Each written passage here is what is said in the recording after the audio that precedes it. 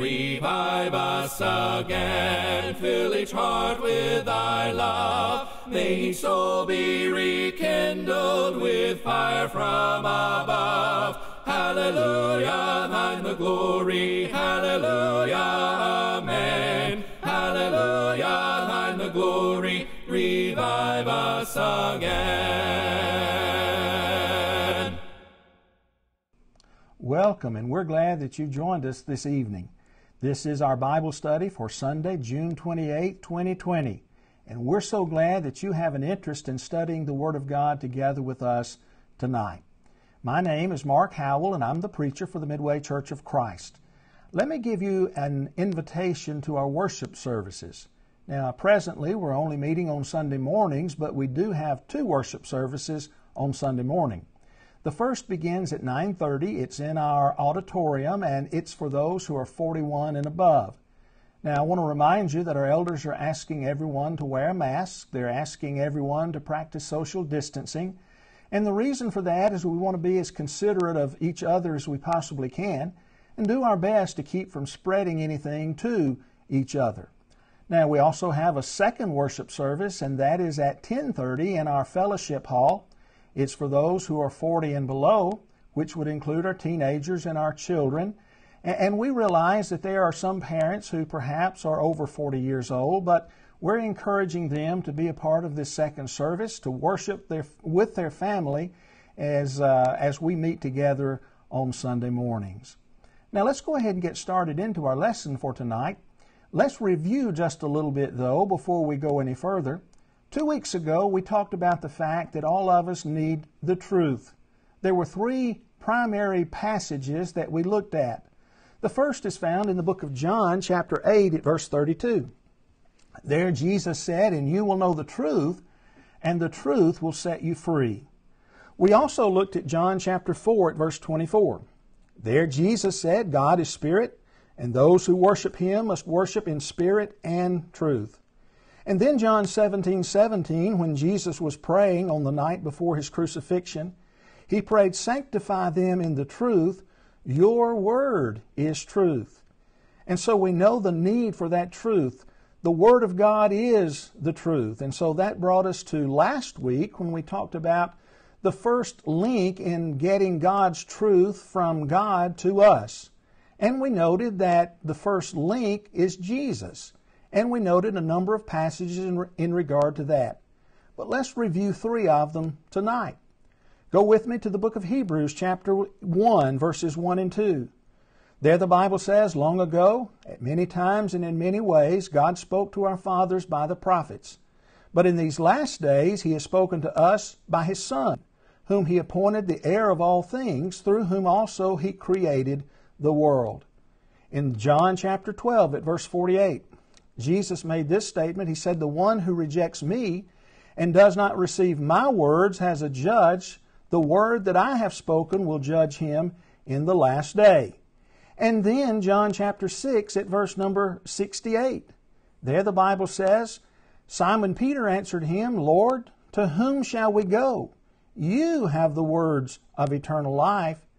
And so this evening, as we consider all of these passages, as we think about them, we understand and we know that, that the truth gets from God, but it comes first through Jesus. The Bible says that God spoke to mankind in different ways in times past, but now, today, speaks to us through His Son, and we will be judged by the words of the Son of God. And so tonight, if Jesus is that first link in the chain of getting God's truth to mankind, how uh, is the next step taken? What, who is the next link in the chain of, of getting God's truth to mankind? Now, we know that Jesus doesn't just whisper into our ears, and we know that He doesn't uh, do skywriting or, or send us a podcast every morning. So, how is it that He does that? Well, let's go and look at a few passages of Scripture. What we want to do first tonight is think about some passages and answer some questions, and then we'll move on from there and discuss uh, some of the things that we deal with here at the first part of our lesson in a little bit more detail. Let's go to the book of John, chapter 14, And in that uh, chapter, we know that Jesus is telling his apostles that he is going away. This is on the night before his crucifixion. They have met together to observe the Passover. And now in chapter 14, verses 1 through 3, Jesus says, Let not your hearts be troubled. Believe in God, believe also in me. In my Father's house are many rooms. If it were not so, would I have told you that I go to prepare a place for you? And if I go and prepare a place for you, I will come again and will take you to myself, that where I am, you may be also. So Jesus breaks the news. He tells them, I am, I am going away. But he doesn't just leave them alone. Uh, in one passage there in John chapter 14, he says, I won't leave you as orphans. But I want you to look at John chapter 14 at verse 16. Jesus says, And I will ask the Father, and he will give you another helper to be with you forever. Now, who is the helper that Jesus is asking the Father to send them. Well, if we continue reading in John chapter 14, down in verse 26, there the Bible says, But the Helper, and then he identifies the Helper as the Holy Spirit, whom the Father will send in my name, he will teach you all things and bring to remembrance all that I have said to you. And so, as we look at that passage and we read that passage together, it brings to mind some questions that we need to answer. Now, what are they? Well, let's look at this one first. Did Jesus say the Holy Spirit would teach them all things and bring all that Jesus said to their remembrance? Now, remember what he says in verse 26 of John chapter 14. Uh, the Helper, the Holy Spirit, whom the Father will send in my name, he will teach you all things and bring to remembrance all that I have said to you? And so, in answering that question, we'd have to answer that with a yes. That's exactly what Jesus promised to his apostles. And so, as we look at that and we think about it, we know that it was a promise made, and Jesus always keeps his promises, but, but he promised to, to do that for them. But look at a second question. When the apostles taught by inspiration of the Holy Spirit, were they teaching their own words or the words of Jesus? And so tonight, as we think about that and what Jesus has said, we have to answer that with they were teaching the words of Jesus.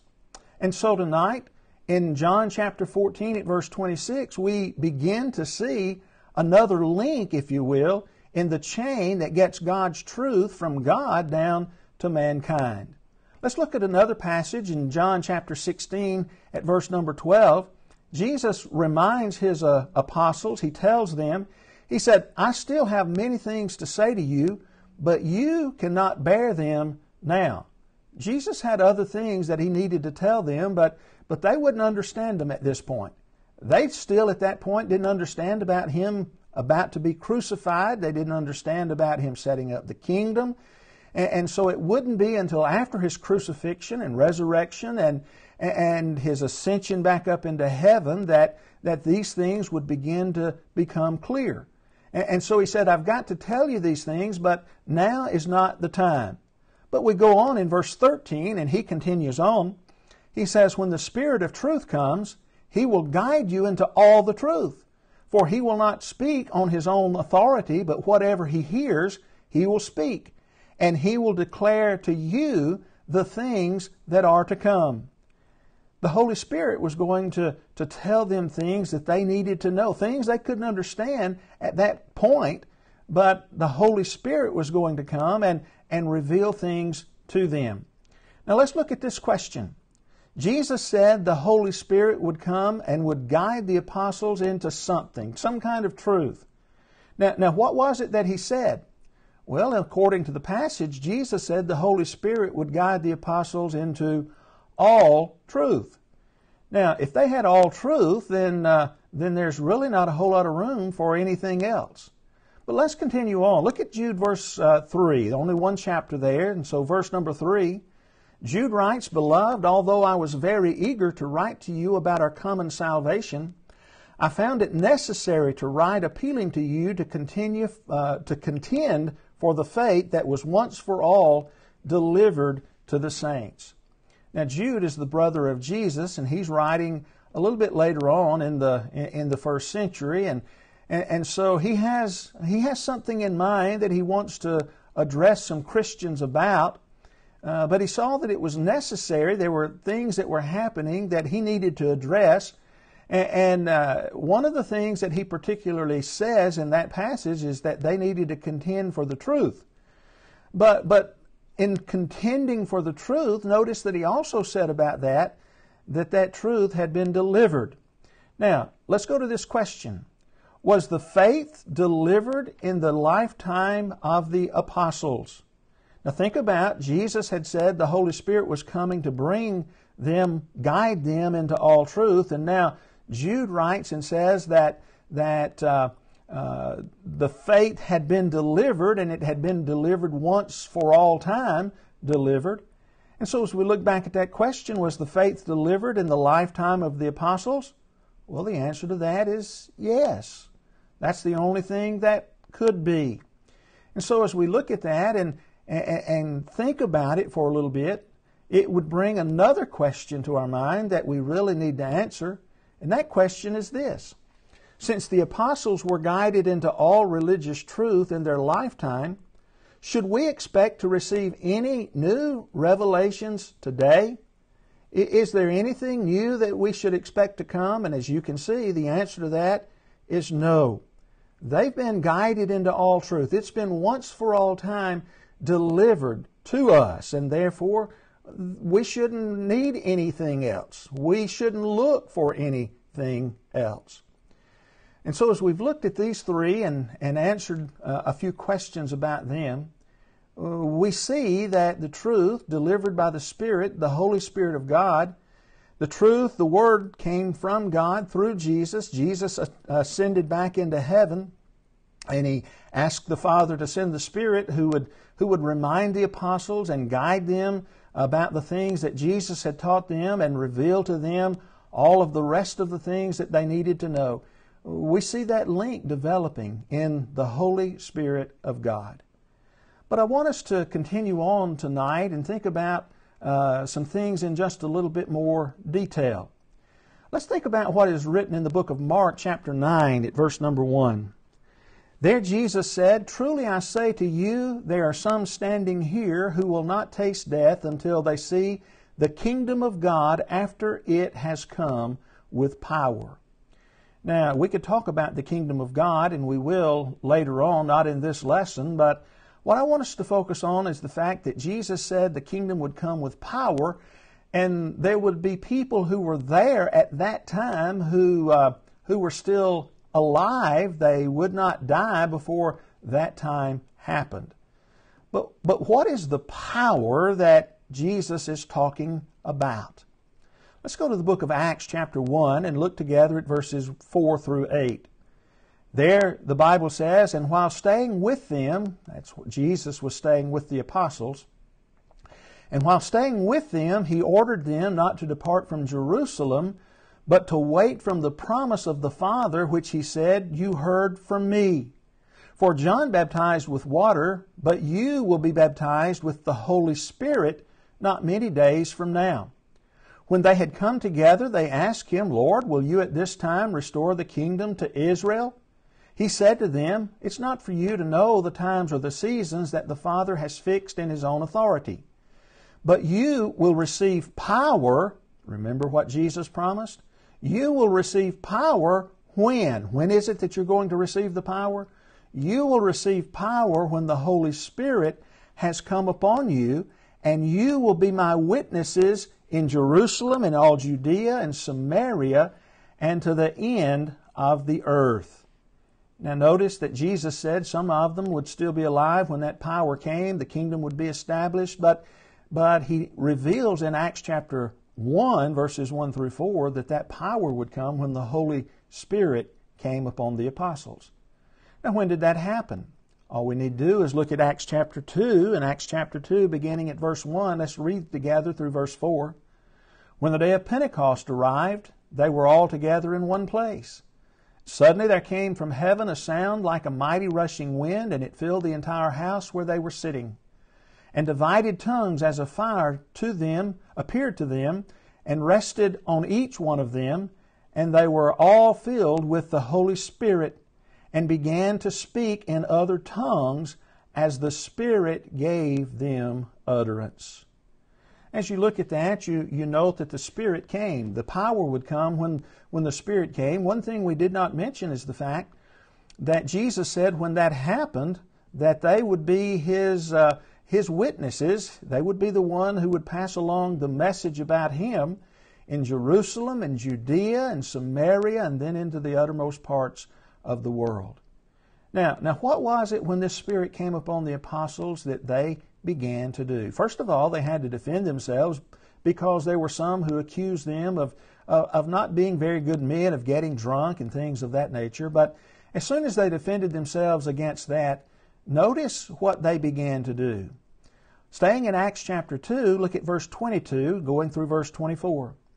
Men of Israel, hear these words Jesus of Nazareth, a man attested to you by God with mighty works and wonders and signs that God did through him in your midst, as you yourselves know. This Jesus, delivered up according to the definite plan and foreknowledge of God, you crucified and killed by the hands of lawless men. God raised him up, loosing the pangs of death because it was not possible for him to be held by it. What was it that they began to do? They began to be witnesses about what Jesus had done, things that they had seen with their own eyes, things that they were actually witnesses to. And so they're telling the people about Jesus, and they continue to do that. Peter, and primarily, we have his words recorded, but, but he tells them about Jesus. And, and notice how he ends his sermon. If we go on to verse 36, he says, Let all the house of Israel therefore know for certain that God has made him both Lord and Christ, this Jesus whom you crucified. Indeed, he was telling them about Jesus. And not only would he tell them about Jesus, he would tell them what Jesus had to say, as would the rest of the apostles. Now, thinking about that, let's go to the book of 1 Corinthians. In 1 Corinthians chapter 2, let's read together verses 9 through 13. There the Bible says, But as it is written, what no eye has seen, nor ear heard, nor the heart of man imagined. Let's stop right there for a moment. There are some who will talk about this passage and they will say, you know, uh, he's talking about heaven. Eyes haven't seen it. I can't even begin to imagine what it's all about. But in reality, as we'll see, that's not what he's talking about at all. Let's go back and continue reading. But as it is written, what no eye has seen, nor ear heard, nor the heart of man imagined, what God has prepared for those who love him, these things God has revealed to us through the Spirit.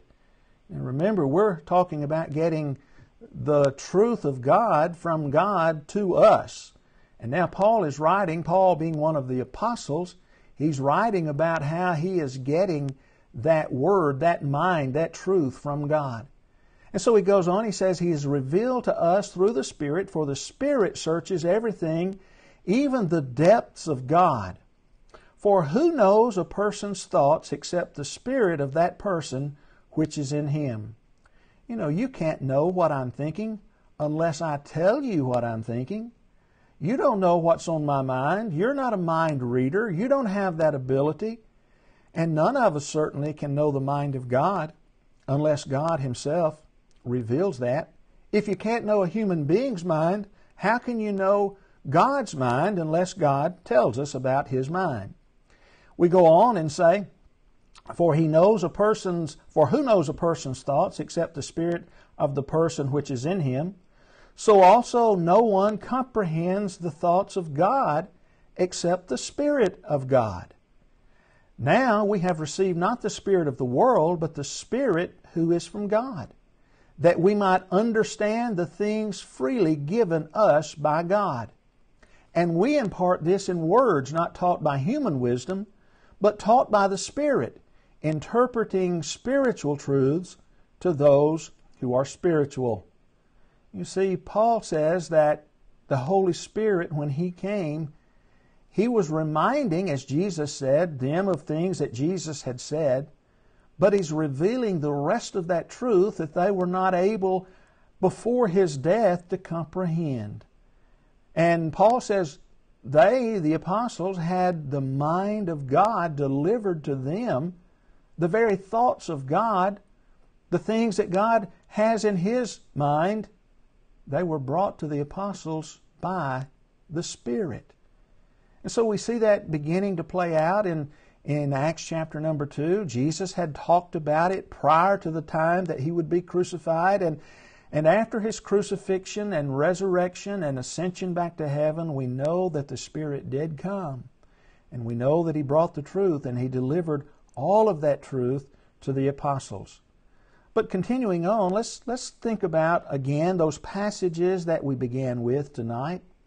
Think about the Bible says in verse uh, 26 of John 14, But the Helper, the Holy Spirit, whom the Father will send in my name, he will teach you all things and bring to your remembrance all that I have said to you. Jesus talking to the apostles. Look again at John 16, verse 13. When the Spirit of truth comes, he will guide you into all the truth, for he will not seek, uh, speak his own authority, but whatever he hears, he will speak, and he will declare to you the things that are to come. And then again in Jude, verse number 3 Beloved, although I was very eager to write to you about our common salvation, I found it necessary to write appealing to you to contend for the faith that was once for all delivered to the saints. Tonight we have seen the second link in the chain that gets the truth from God to mankind. Sanctify them through your word. Your word is truth. And we know that the Bible says that God speaks to us through His Son. But the Bible also teaches that there has to be another link because when Jesus was here, He couldn't deliver everything because man just wouldn't understand at that point. And so, between us and Jesus, is the Holy Spirit. Now, not only have we seen that second link that gets us from uh, the truth from God to mankind, but we've also gotten a glimpse into the third link. We've noted that the Spirit came to the apostles. Now, we're going to talk more about that next time, study more together about that. But tonight, as we, as we close out, let's remember that we have the link given to us from God through Jesus, through the Holy Spirit. And then next week we'll talk about Jesus getting the Holy Spirit to the apostles, which would become that third link. As we end tonight, let us pray. Holy and righteous Father in heaven, we are so thankful for all that you do.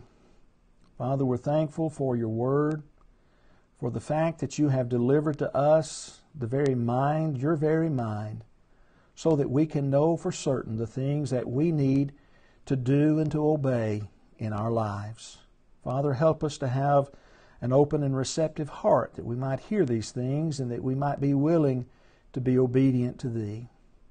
Father, as we come before Thee tonight, we're mindful of many who are sick, some who have had accidents, some who have had surgeries and are recovering. We pray for each one, Father. We know that You know their needs. And we pray that if it's possible, they can be restored to their health. Father, as we come before Thee tonight, we're thankful for your church. We're thankful in particular for the Midway congregation. We pray that you will continue to be with us, that we can be a light to our community, that we can help others see Jesus as we live for Him each day. Be with our elders who lead us, be with our deacons who serve. And Father, we pray that as we do things uh, in your name that will be pleasing to you. Father, we also pray for our nation. There's so much turmoil, there's so much that's going on. And we know that only you can help, that only you are the answer. And, and we pray, Heavenly Father, that we might be able to spread your word, your gospel, the good news to others, that they might be able to understand and, and that Heavenly Father to enjoy the peace that passes understanding found only in your Son. Father, we ask that you continue to be with us each day and help us as we go through our lives. For this is our prayer in Jesus' name. Amen. Again, fill each heart with thy love. May each soul be rekindled with fire from above. Hallelujah, thine the glory. Hallelujah, amen. Hallelujah, thine the glory. Revive us again.